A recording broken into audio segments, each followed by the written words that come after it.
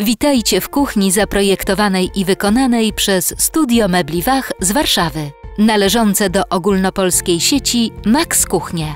Ta otwarta na salon przestrzeń zajmuje łącznie powierzchnię 40 m2. Już po pierwszym wrażeniu budzi bardzo pozytywne emocje u tych, którzy gustują w nietypowych rozwiązaniach i barwach. Elegancja matowej czerni w połączeniu z naturalnym fornirem frontów tworzą fantastyczną i spójną kompozycję. Czarny sprzęt AGD marki Siemens pięknie został wkomponowany w wysoką zabudowę.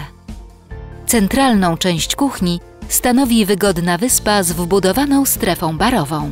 Zwróćcie uwagę na pojemne szuflady o wymiarach nawet do 120 cm, wygodnie otwierane za pomocą frezowanych uchwytów. Dla absolutnej harmonii element wyspowy został wykonany z tych samych materiałów, co część zabudowy. Przestrzeń nad granitowym blatem roboczym wypełnia przepiękny matowy gres, idealnie dopasowany do gresu na podłodze i frontach samej wyspy. Wyspa stanowi nie tylko wygodną część roboczą, ale też idealne miejsce do przechowywania. Kuchnia ta dosłownie w każdym wymiarze została świetnie wpasowana w dostępną przestrzeń. Zatem po raz kolejny mówimy wielkie tak dla wszystkich kuchni realizowanych pod wymiar. Jeśli zgadzacie się z nami, zapraszamy do kontaktu ze studiem Mebli Wach z Warszawy.